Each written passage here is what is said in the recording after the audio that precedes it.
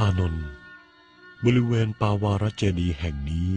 เป็นสถานที่สงบเงียบ หากบุคคลใดได้เจริญอิทธิบาทสี่ประการ และบุคคลนั้นมีความปรารถนาจะให้อายุยืนได้ถึงหนึ่งกับ หรือมากกว่านั้น ก็จะมีชีวิตยืนยาวได้สมปรารถนา พระพุทธเจ้าแสดงนิมิตโอภาษพูดกับพระอานนท์ หวังจะให้พระอานนท์ทูลขอ ให้พระองค์มีชีวิตอยู่ต่อไป เพื่อจะได้แสดงธรรมะ สั่งสอนมนุษย์ทั้งหลายในอีกช่วงระยะเวลาหนึ่ง อย่าหวังไปเลย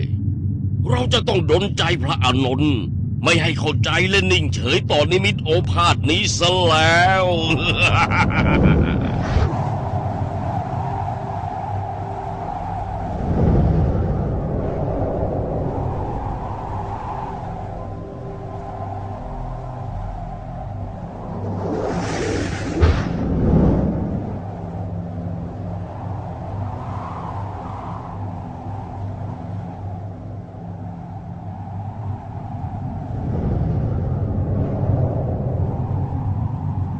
พระพุทธเจ้าพูดถึงสามครั้งแล้ว